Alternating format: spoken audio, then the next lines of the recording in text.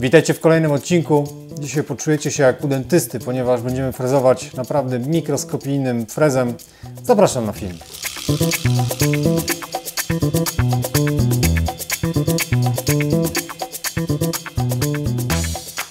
Tak, tematyka CNC znowu powraca, ale ilość pytań, które od Was dostaję, jest zbyt duża.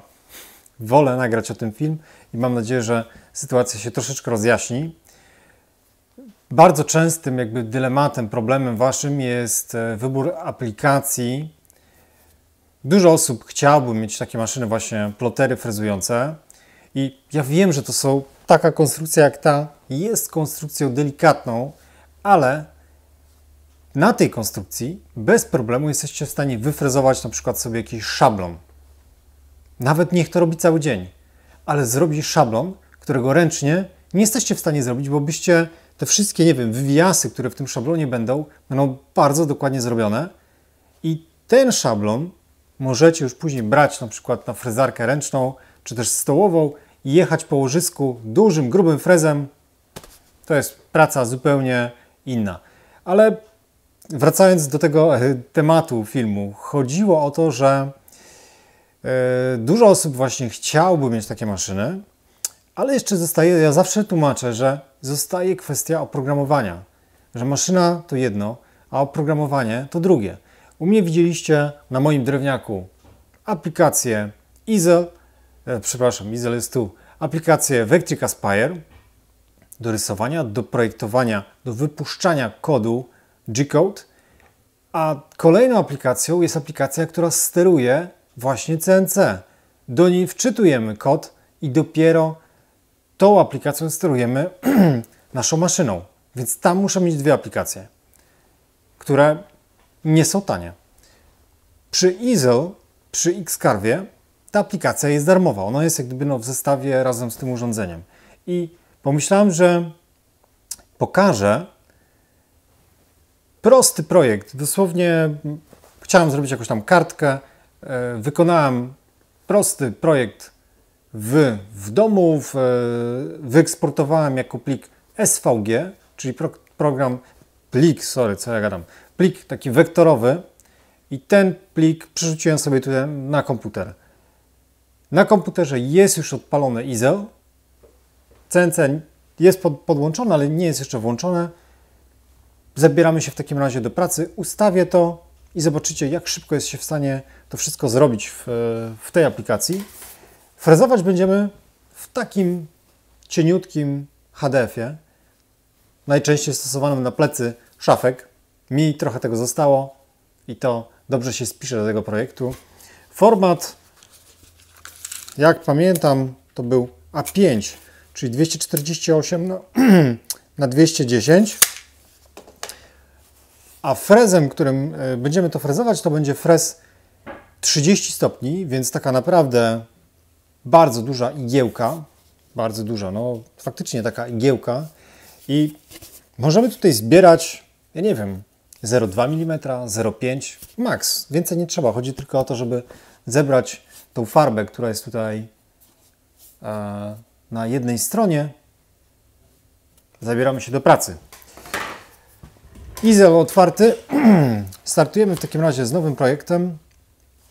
Rozpoczynamy od określenia oczywiście formatki, e, w której będziemy pracować. Zobaczcie, jest na razie wszystko w calach, e, więc patrzę, gdzie tutaj, ok, tutaj mi się zasłoniło. Tutaj mamy przełącznik, zmieniamy na milimetry i wpisujemy 148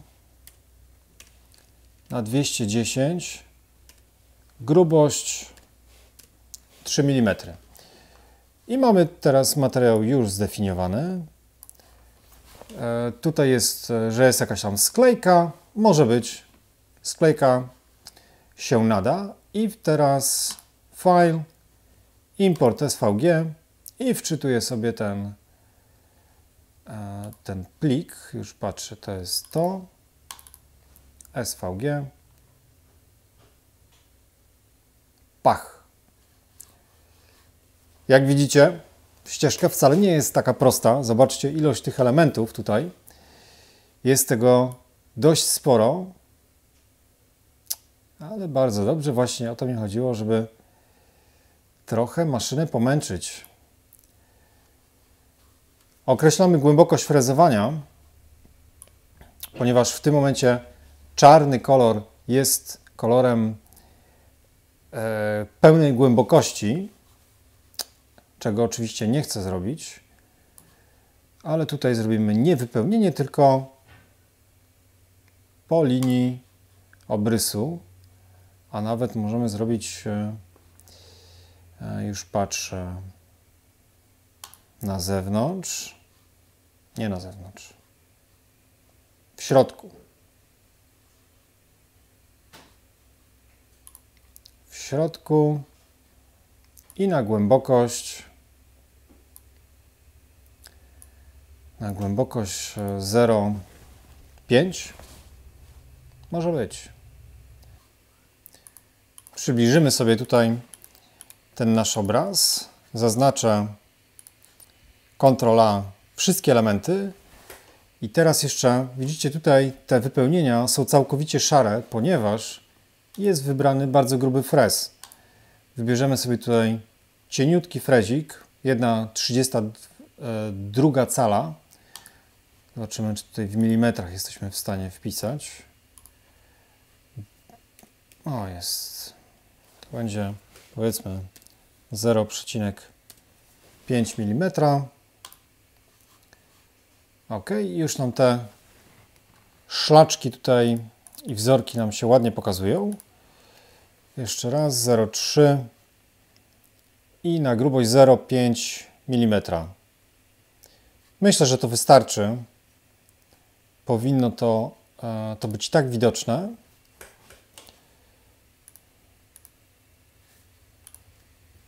To co? Gotowe, prawda? Mamy określony materiał, mamy określony frez, który to będzie cięte, mamy wymiar. Zobaczmy jeszcze sobie tutaj. No właśnie, bo tutaj będzie to dosyć e, słabo widoczne, ponieważ on myśli, że materiał jest jednolity i jest w stanie tutaj preview pokazać właściwie tego, e, tej naszej pracy. Może gdybym zaznaczył i dał na pełną głębokość,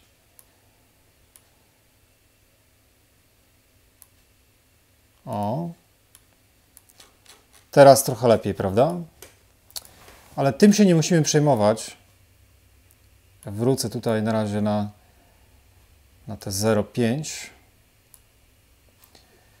ponieważ możemy tutaj jeszcze pokazać ścieżkę wycinającą Show tool, tool, i teraz nam wygeneruje ścieżkę już dla, dla danego narzędzia jest pokazane. To sobie przesuniemy. Jeszcze raz. Tak. Ukryj materiał. No i teraz mamy faktycznie tylko ścieżkę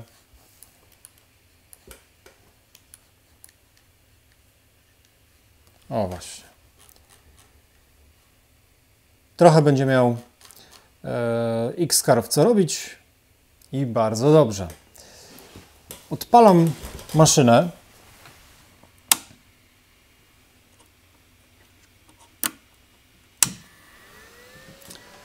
Maszyna włączona. Tutaj tylko sprzątnę troszeczkę z góry, żeby coś tutaj zaraz nie pospadało. I zaczynamy frezowanie, czyli frezujemy. Ja mam na porcie trzecim. Połączył się, od razu się diody zapaliły, więc widać, że maszyna działa. I teraz lecimy z, z frezowaniem. Na początek oczywiście ustawiamy home, czyli musi dojechać się do krańcówek, zbazować się.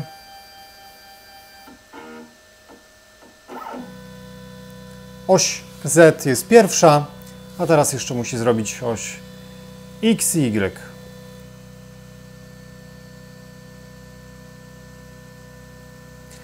Jak widzicie też X-Carve u mnie nadal działa na tym najsłabszym wrzecionie 24V. Nie wiem, czy to jest 24 czy 12, ale naprawdę to jest najsłabszy, powiedzmy, najsłabsze ogniwo tej maszyny. Ale działa i również chcę o tym pokazać, e, nagrać ten film, że można na tym wiele, wiele zrobić. Potwierdź grubość materiału. Tak, na pewno 3 mm. Przymocuj materiał. No to zaraz przymocujemy. Przesuniemy sobie tylko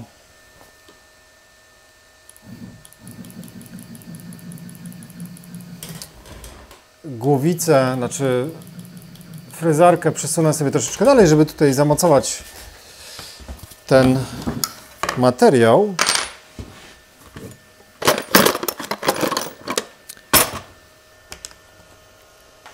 Te zaciski drewniane też się naprawdę fajnie spisują.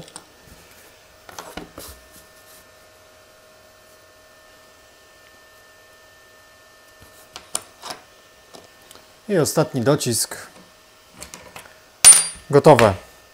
Materiał jest e, zabezpieczony. Wybieramy frez, czyli inny 0,5 mm. Potwierdzamy to i teraz przesuń frez do zera, czyli w narożnik i jeszcze trzeba znaleźć też grubość materiału, czyli jego górę. No to lecimy tutaj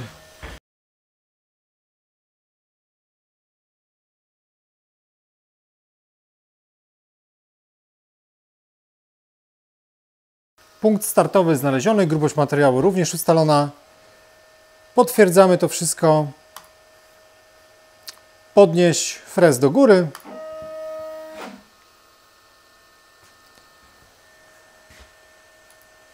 Uruchamiam w takim razie wrzeciono. I możemy startować.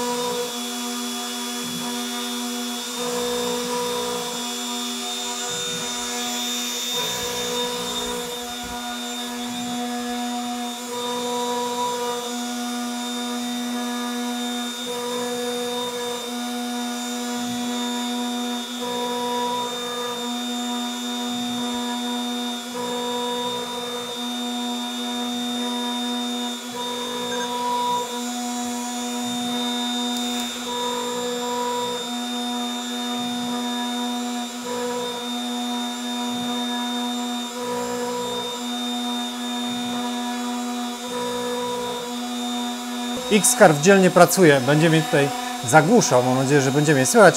Ja już jedną kartkę mam w ręku. Te najmniejsze frezowania naprawdę robią wrażenie. To jest tak mikroskopijne, że w życiu nie chciałby mi się tak bawić, a on nie ma wyboru. Musi się słuchać.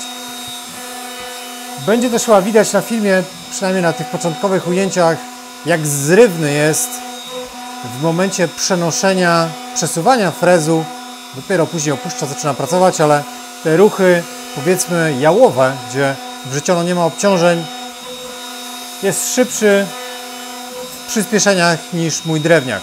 No ale nie ma się co dziwić, tutaj elementy są dużo lżejsze, mniejsze opory.